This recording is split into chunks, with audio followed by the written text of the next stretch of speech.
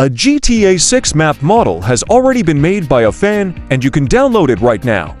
Just like with GTA 5, the community has come together for a mapping project. They want to work out what the map is going to be like before the game releases. Starting from the gameplay leaks in 2022, the community has been able to piece some parts of the map together.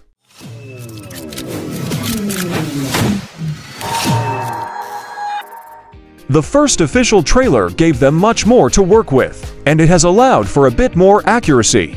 An example given by a fan is that the real-life Loews Hotel in Miami can be seen for different shots during the GTA 6 trailer. Despite being in the early stages, a lot of progress has been made in a short time. It is also worth noting that what we see in the trailer could change by 2025. GTA 5 first trailer is fantastic and iconic. However, it contained shots that did not have parts of the map loaded in. We also know from recent leaks that the game did change in its last couple of years before release. No matter the inaccuracies in the community map to the final game, this project is a lot of fun to watch and be involved in.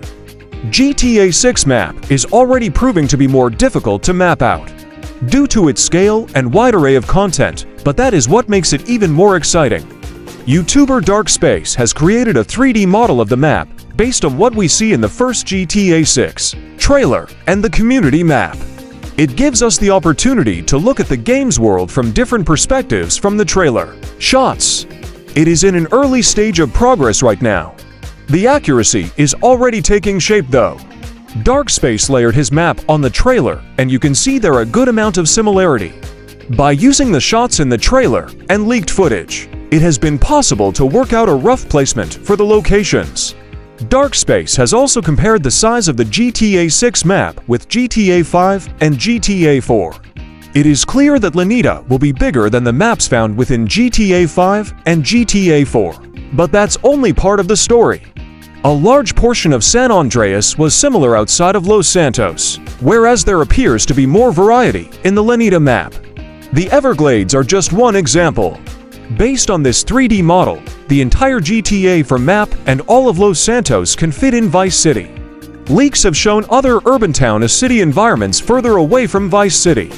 This is different from GTA 5. It does feature far more water, though so that is something to consider. Dark Space reached out to us and said he has published his model as a free download. This means anyone who wants to collaborate on the project via a model can do so with this one. We'd also recommend checking out Dark Space's YouTube video, where he gives extra explanation into his model and process.